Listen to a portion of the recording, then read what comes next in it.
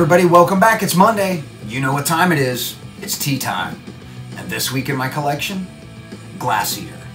Glass Eater was a post-hardcore punk uh, slash emo band from the Miami, Florida area. I've got one t-shirt in my collection from them, and I got this at a show that we played with them back in 2002. That bill was the Suicide Machines, Small Brown Bike, Glasseater, and Law Abiding Citizens. This is the design that I got from that show. I, I thought this one was really cool. It's a little boy trying to give a Valentine uh, to a girl, and she rips it up, and he flops over in front of her, completely brokenhearted.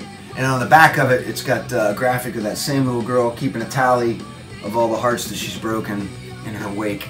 I just thought it was a cool shirt. It may have something to do with lyrical content, I'm not quite sure. Uh, I really didn't know too much about this band other than the fact that we played that one show with them. In the time they were around from the uh, late 90s to early 2000s, uh, they put out four records. Uh, I believe they put out records on Eulogy, uh, Fearless Records, and within the year after we played that show with them, uh, they put out an album on Victory Records as well. I don't think the band's still playing. I'm not really quite sure. According to their Facebook, there's been uh, some posts from 2022, so I can only assume they're doing maybe some reunion shows and, and whatnot like that. I, like I said, I honestly really don't know. I never kept up with this band other than that show, and I, the fact that I really like this t-shirt. So I'm to put some links in the description so you can go and check them out, check out their music.